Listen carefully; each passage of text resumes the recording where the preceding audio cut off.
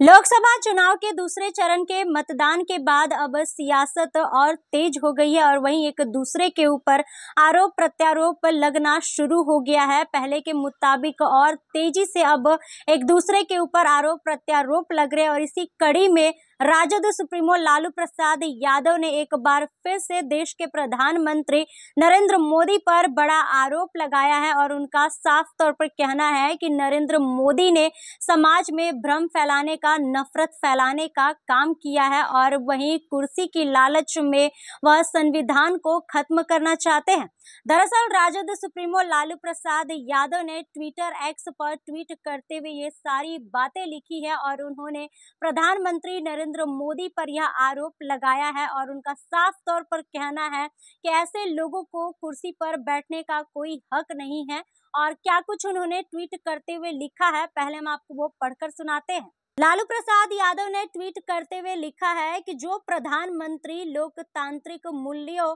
लोकलाज, मर्यादा व पद की गरिमा, त्याग तथा संविधान को दरकिनार कर स्वयं जनता के बीच झूठ, भ्रम और नफरत फैला समाज से न्याय, सौहार्द, बराबरी और भाईचारे को समाप्त कर देश एवं समुदायों में विघटन व विभाजन पैदा करने पर उतारू हो तो ऐसे व्यक्ति को एक क्षण भी पद पर रहने का नैतिक अधिकार नहीं है। हमारे महान देश एवं न्याय प्रिय समाज ने न कभी ऐसे विभाजनकारी सोच को बर्दाश्त किया है और ना ही आगे करेगा। यह गांधी फुले कलाम अंबेडकर, लोहिया, जेपी और कर्पूरी का देश है। कुर्सी के लिए इस महान देश एवं बाबा साहेब के संविधान की बलि चढ़ाने की मंशा रखने वाले ऐसे लोगों को जनता इस चुनाव में कड़ा सबक सिखाएगी।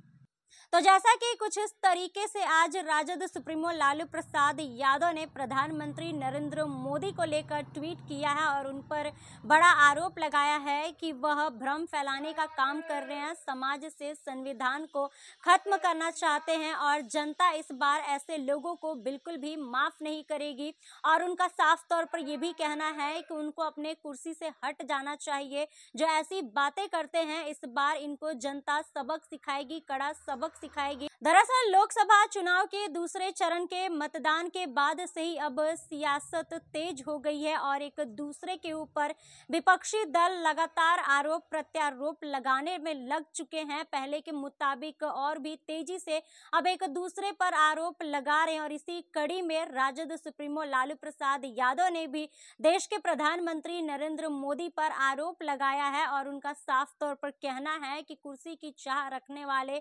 संविधान को खत्म करना चाहते हैं और ऐसे लोगों को जनता इस बार कड़ा सबक सिखाएगी और जनता बिल्कुल नहीं चाहेगी कि ऐसे लोग रहें जो समाज में भ्रम फैलाने का काम करते हैं, देश को बांटने का काम करते हैं। बाकी इस खबर में बस इतना ही। ऐसे ही तमाम खबरों के लिए बने रहे हमारे साथ और देखते रहे फ़र्स्ट बिहार झारखंड। अगर आप ये वीडियो हमारे फेसबुक पेज पर देख रहे हैं तो हमारे पेज को फॉलो करें और अगर यही वीडियो हमारे यूट्यूब चैनल पर देख रहे हैं तो हमारे चैनल को सब्सक्राइब करें। धन्यवाद। 26 वर्षों में 17,000 से अधिक डॉक्टर बना चुका बिहार एवं झारखंड के छात्रों एवं अभिभावकों के बीच सर्वाधिक विश्वसनीय एवं लोकप्रिय संस्थान गोल नेशंस लीडिंग इंस्टीट्यूट। हमारा विश्वास गोल के साथ